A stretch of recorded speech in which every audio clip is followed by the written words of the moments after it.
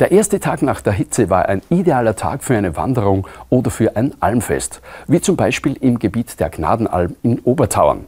Mit Musik und Almschmankerln wurden die zahlreichen Gäste verwöhnt. Es ist ein idealer Ort für die ganze Familie, das Almgebiet der Gnadenalm in Obertauern.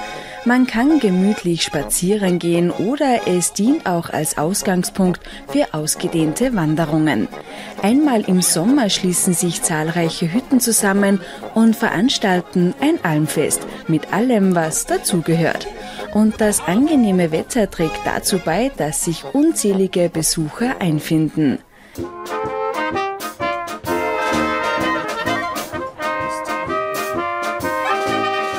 Wir haben das voriges Jahr das erste Mal veranstaltet. Da sind wir acht Hittner rund um den Dom im, Gebiet, im ganzen Gebiet von der Gnadenalm und haben gesagt, wir machen ein Almfest.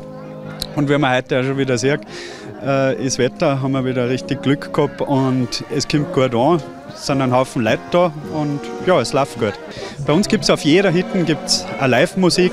Bei uns zum Beispiel sind die stürmisch-böhmischen, nachher spielen die Stadtler-Musikanten, dann von der Dauernker Leiten sind die Heimburm bis zur Südwiener Hütten. Auf jeder Hütte spielt eine Live-Musik. Es geht nur in der Gemeinschaft. Wenn ich halt hinten bleibe, ja, dann traut jeder seine Angsuppen, von denen leben wir nicht. Es lebt jeder von anderen mit. Nach einer ungefähr 30-minütigen gemütlichen Wanderung kommt man zu den nächsten Hütten.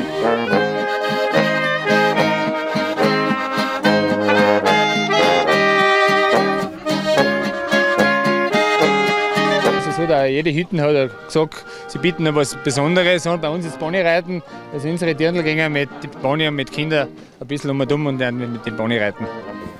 Obwohl man heute relativ schnell an den entlegensten Orten der Welt sein kann, kehrt man inzwischen immer mehr zum Bodenständigen zurück. Ja, weil wir eine schöne Landschaft bieten, eine gepflegte. Das ist da eine echte Alm, sage ich mal. Da wird gemolchen, da wird, sind Viecher da, da sind Senniner da, da wird der Kass selber gemacht.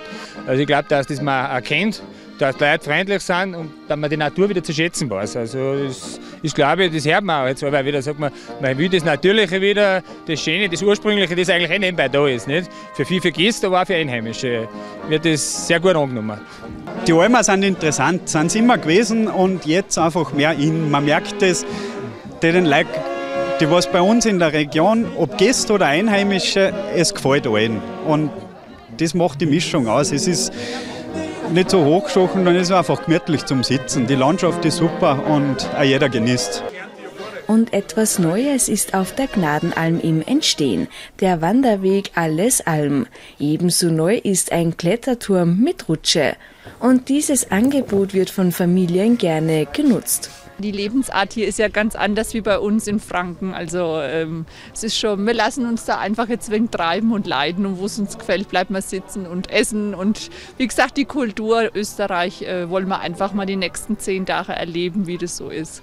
Aber dabei kommen Spiel und Spaß auch nicht zu kurz. Vorne konnte man einfach runterrutschen und das fand ich einfach schön, weil da hat man auch irgendwie so die Luft, die hat man gespürt und ja, das fand ich gut. Und wir sind jetzt gerade das erste Mal da, sind gestern angereist und heute schon das volle Erlebnis. Es ist richtig schön, wie im Paradies, können wir weiterempfehlen. Am Almwanderweg findet man acht Stationen mit unterschiedlichen Themen. Hier zum Beispiel wird über Bienen und deren Arbeit berichtet oder an anderer Stelle kann man etwas über diesen mehr als 400 Jahre alten Ahornbaum nachlesen. Oder man lässt einfach nur die Seele baumeln. Dieser Tag zeigt wieder einmal deutlich, dass wir in einem der schönsten Bundesländer Österreichs leben.